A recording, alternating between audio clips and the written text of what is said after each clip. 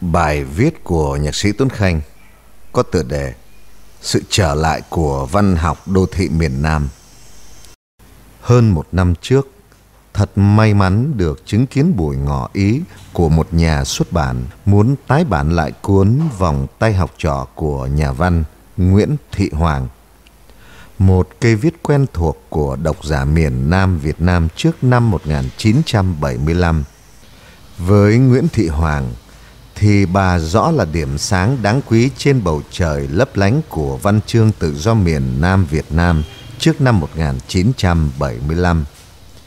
Rồi mới đây, thoáng thấy trên Facebook, báo điện tử, những lời chia sẻ với nhà văn Nguyễn Thị Hoàng về cuốn sách Vòng tay học trò được tái bản cùng sự hào hứng quen thuộc gọi tên là tác phẩm thuộc dòng văn học đô thị miền Nam nghe mà đột nhiên thấy chạnh lòng. Nghe đô thị có vẻ như co cụm và không thuộc về nhân dân. Nói như nhà văn Nguyễn Hưng Quốc, nói văn chương đô thị miền Nam thì không sai nhưng thừa, bởi sự nhấn nhá riêng đô thị của miệng lưỡi tuyên truyền là thừa ác ý, có nơi còn gọi là sự trở lại. Thế nhưng văn chương miền Nam đi đâu mà trở lại. Toàn bộ chữ nghĩa đã được hình thành, nuôi dưỡng và tồn tại suốt trong hai nền cộng hòa ở miền Nam Việt Nam. Chỉ có một hành trình duy nhất là đi xuyên qua sự thù hận, trà đạp và hủy diệt. Mà dù có đau đớn hay rách nát thế nào, nền văn chương hay nền văn hóa Cộng hòa miền Nam Việt Nam nói chung – vẫn tiếp tục tồn tại trong một thời đại mới và tỏa sáng với những tư tưởng tự do không kiểm duyệt. Văn chương miền Nam Việt Nam tự nó cũng giống như số phận của ông khai trí, một người ước mơ đem sách và chữ đến cho dân tộc mình, rồi chính quyền mới nói tiếng Việt tịch thu.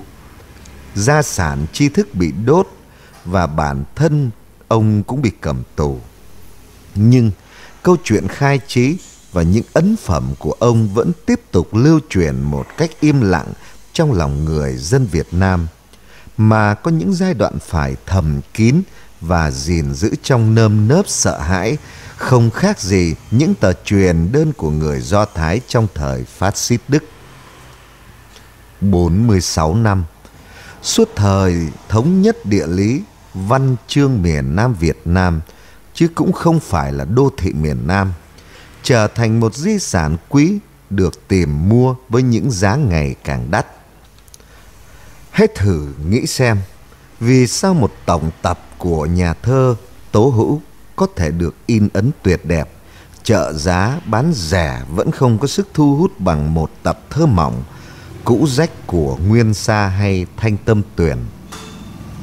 Văn học đô thị miền Nam cách gọi bị ám ảnh từ lối tuyên truyền văn hóa của chính quyền mới sau năm 1975 cho đến nay vẫn ngầm chứa trong đó một sự khinh thị chỉ để góp vào cái nhìn toàn cảnh cố không công nhận miền Nam Việt Nam là một chính thể.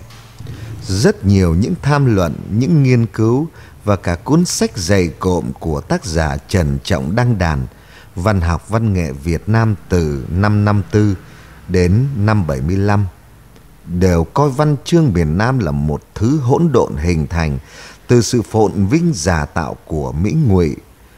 Báo Nhân dân số ra ngày 13 tháng 9 2016 với bài viết ứng xử với văn học miền Nam trước năm 1975 của tác giả Hạnh Nguyễn.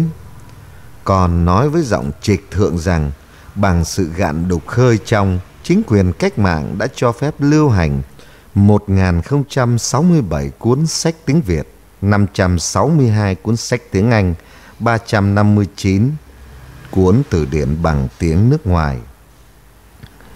Sự cho phép nó chỉ là một giả định trên đời sống thật. Không có phép thì suốt vài thập niên nay, người miền Nam vẫn ca hát những bài hát không được duyệt thậm chí còn làm cho nó lan ra đến cả nước. Sách vở không in được, không có phép thì vẫn được truyền tay nhau và vẫn được thế hệ mới ngày hôm nay tìm đọc với một sự thích thú về khung trời tự do trong tư tưởng cho phép và không cho phép chỉ là màn trình diễn giả định về pháp luật giữa người dân và chính quyền nghiễm nhiên tồn tại suốt bấy lâu nay vì vậy cách nói rằng văn chương đô thị miền nam trở lại khi có dăm ba cuốn sách cũ tái bản, có vẻ khiên cưỡng trong sự thật lịch sử của một di sản văn hóa vĩ đại của Việt Nam Cộng Hòa. Nói trở lại là giả tạo trong việc mô tả một chính quyền đủ tốt để dung nhận tất cả. Giả tạo như tất cả mọi thứ trong cuộc sống đang là một vòng quay đẹp đẽ theo tự nhiên. Nhưng lờ hẳn phần xin lỗi về một giai đoạn mà những nhà văn nhà thơ miền Nam đã từng bị tù đày và tác phẩm của họ thì bị đấu tố như kẻ thù của nhân dân. Trong tiểu luận Văn học miền Nam 1954-1975, những khuynh hướng chủ yếu và thành tựu hiện đại hóa của giáo sư tiến sĩ Huỳnh Như Phương mô tả về căn nguyên quan trọng ra đời của nền văn hóa văn nghệ miền Nam Việt Nam là bởi nhờ đồng lương và các khoản thu nhập khác nên một bộ phận công chức và giới trung lưu có thể chi tiêu những khoản tiền vào việc mua sắm theo ý muốn. Ngoài các nhu cầu thiết yếu hàng ngày, chính đây là tiền đề dẫn đến sự hình thành một thị trường văn nghệ ở miền Nam những năm 1954 đến năm 1975. Có vẻ sự căn bản hình thành của văn chương miền Nam Việt Nam thực dụng và không được cao quý, theo cách mô tả của tất cả những ngôn luận nhận định từ bên thắng cuộc nhưng lại không hiểu vì sao hàng chục năm xây dựng xã hội chủ nghĩa với những thành tựu xuất chúng như trên báo chí vẫn nói, xã hội cách mạng hôm nay vẫn gieo mừng khi những thứ bị trà đạp ấy quay trở lại như vòng tay học trò của nữ sĩ Nguyễn Thị Hoàng và của nhiều trí thức miền Nam khác từng bị phủ nhận.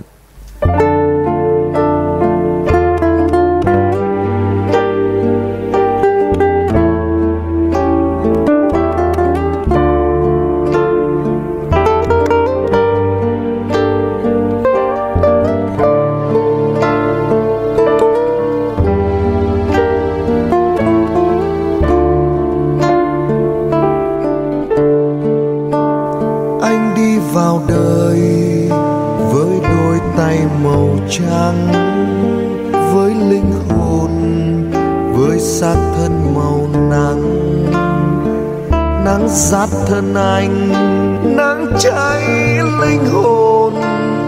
Anh vào đường yêu với một màu rất buồn. Em xuống cuộc đời với đôi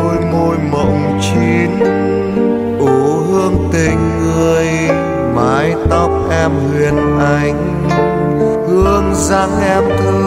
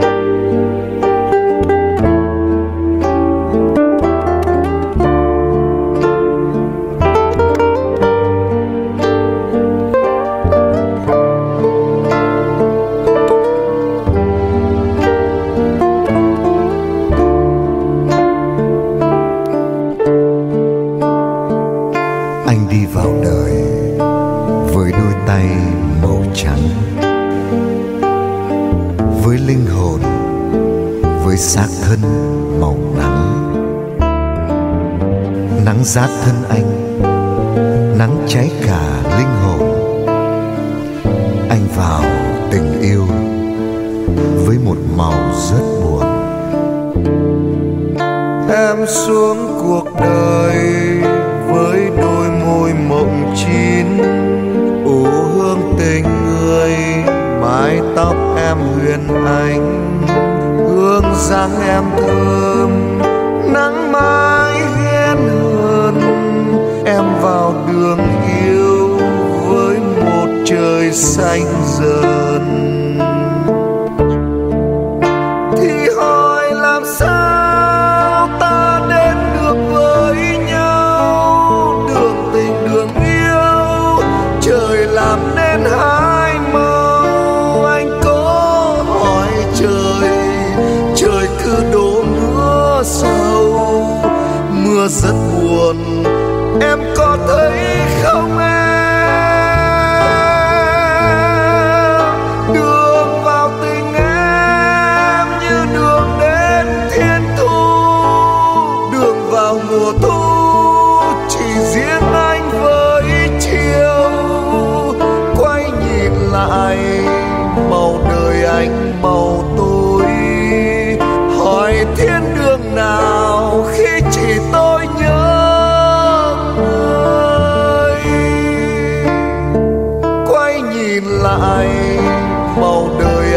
màu tối.